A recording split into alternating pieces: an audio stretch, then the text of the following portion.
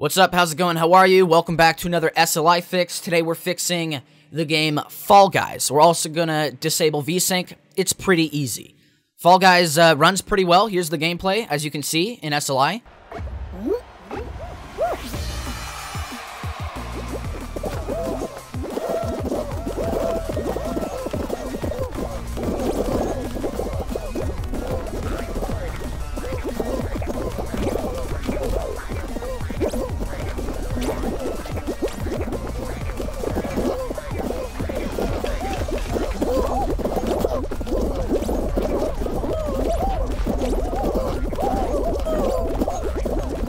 Perfect scaling. I got up to uh, like 120 FPS, maybe a little bit more.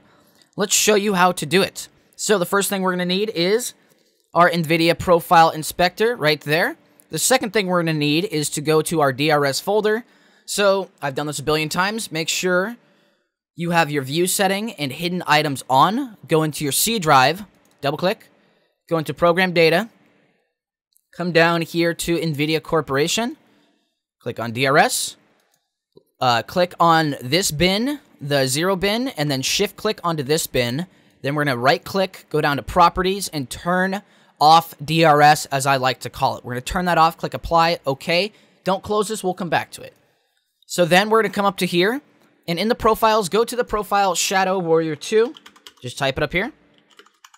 Bada bing, bada boom. I already had it up, whatever. And then we're going to click this button right here, Add Application to Current Profile and then we're going to click on the Fall Guys client. If you do not know where that is, for me, it's in my G, G Drive, Steam Library, Steam, app, Steam Apps, Common, Fall Guys. You click that, you click Open. That's basically it. Then you're going to click Apply, Apply, Apply. Just apply those settings. And then before we, um, uh, we close our DRS, you can either turn off vertical sync right here, or you can do it in the NVIDIA control panel, which I like to do.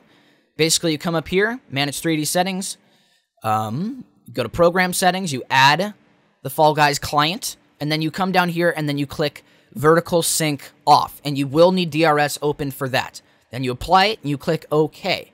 Then we're going to go back to our DRS folder, correct? We still have those selected. Right click, properties, read only, uh, click that again, apply, OK. And that is literally how you fix SLI for Fall Guys. Here's the gameplay. Runs great. Thank you guys for watching. Leave a like.